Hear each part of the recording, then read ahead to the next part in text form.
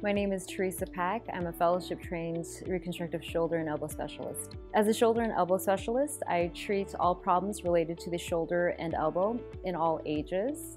In the shoulder, I do every procedure from camera surgeries to shoulder replacements or arthroplasty.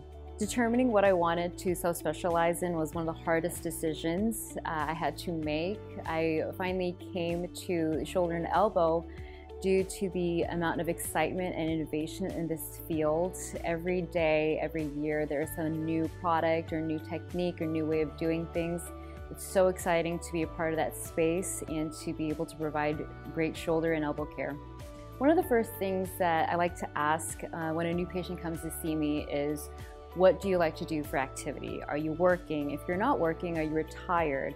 If you're retired, what do you like to do? What, what do you ask your shoulder to do? What kind of demands? What kind of activities do you like to do that I can help you get back to? I'm so excited to bring all my years of experience and training as a physician to the CORE Institute.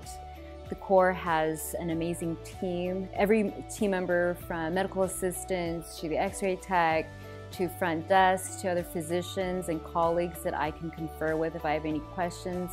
The ability to provide comprehensive orthopedic care is one of the biggest draws of working at the CORE for me.